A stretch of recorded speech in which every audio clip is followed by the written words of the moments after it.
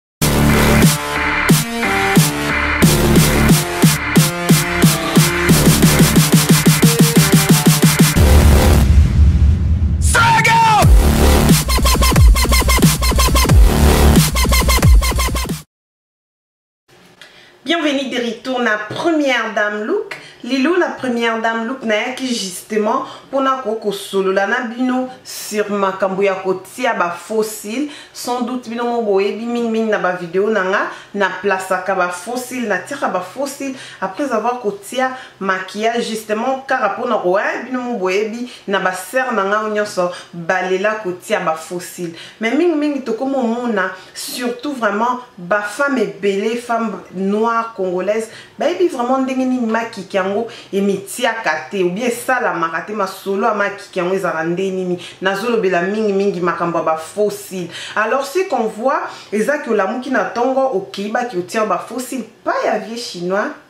boyebi ke nalingaka vie chinois te voilà en passant oke na château d'eau bake kotia yo makiki oyo batiaka ya moko moko bazopose yo makiki ya moko moko le premier jour batie yo makiki ya moko moko mm, mwa eza bien eza classe eza propre deuxième jour troisième jour mais ntango esalaka une semaine bino mo boyebi ce que ça fait wana yo ozotia bamascara na yo ozotia bafare à jour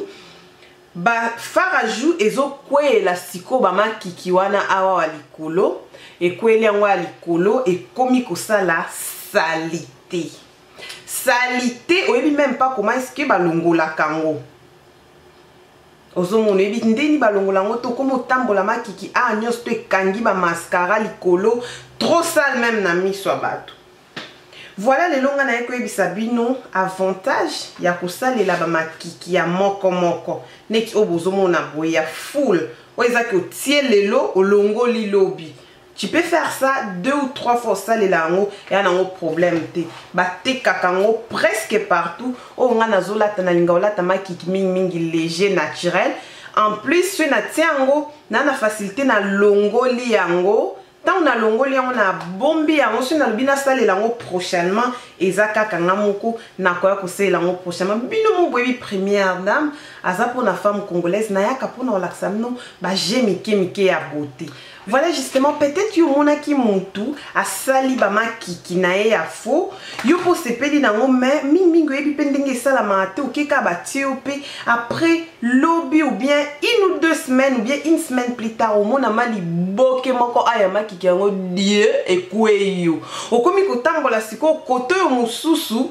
ozwi bate moyen olongola yango eza te tellement koto eza nano ebele mpasi moyen obenda boye kato makiki naturel te oza oblige okomi otambola makiki wana koto liboke moko ekwei koto mosusu etikali bongo yo oyebisa yango somona nani yango azotambola likiki koto boye mpo na si namona yango nazoloba ata bomoni basere na ngai ebele na kine batantine basalaka bateatre tokomomona bamakiki moko salite awa ubie mosusu moko esi ekwei sikoyo kote mosusu azoyeba olongola te na soni wana otikali kaka neti satonge te bosalela makiki oyo ya ba moko moko nga moko na osalela ngo pe ba resultats eza impeccable pe na tambola elongi propre toujours pona ko éviter ba makiki wana esala salite na baoyo oyo oyo bateka ya mibimba ya ful soko oyebi ka masula makiki yo motia ya makiki seke oyebi dia kote nini okoki kozwa bamakiki oyo oh, voilà oyo avantage nango eza que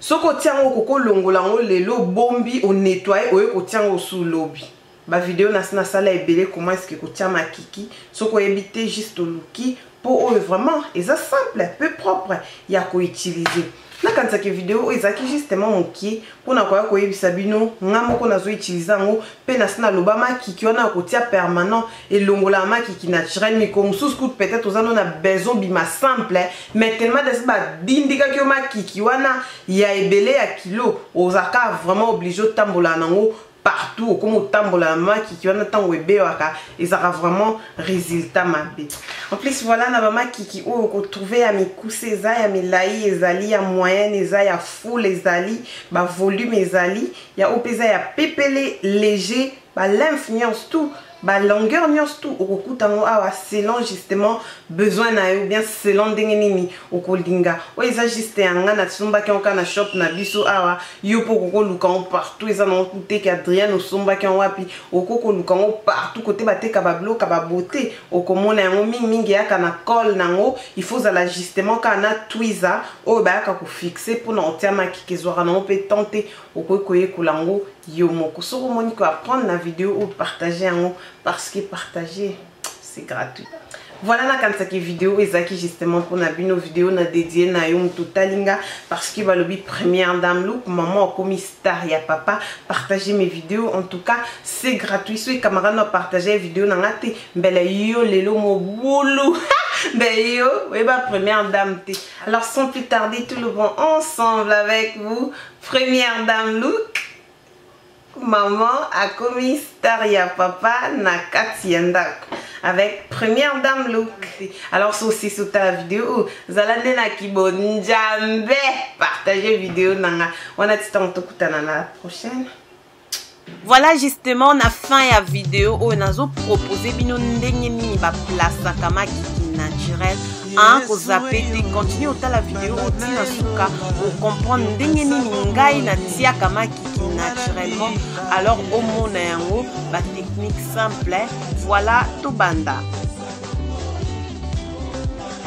voilà premièrement il faut tia mascara mascara otiango na se ya makiki na yo naturel obendi yango vraiment bien obongisi mascara après wana nde oye kozwa bafosile na yo ndenge na olakisa a ah, bomona bafosile na ngai yango na kotia na liso oyo mosusu natie fosile col col na yango eyaka na yango après nazwi twiza yango wana libende wana naye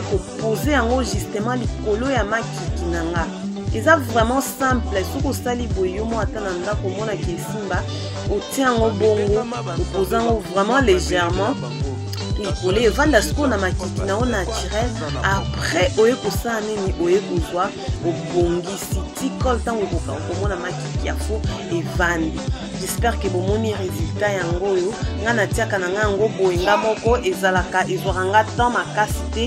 e ezalaka propre natia yango boye na ntongo ar nabima na butu avant nalala na longoli e en tout cas esala salite te na maquillage na ngai esaka nga vraiment bien yango na ngai na partage yango vraiment na bino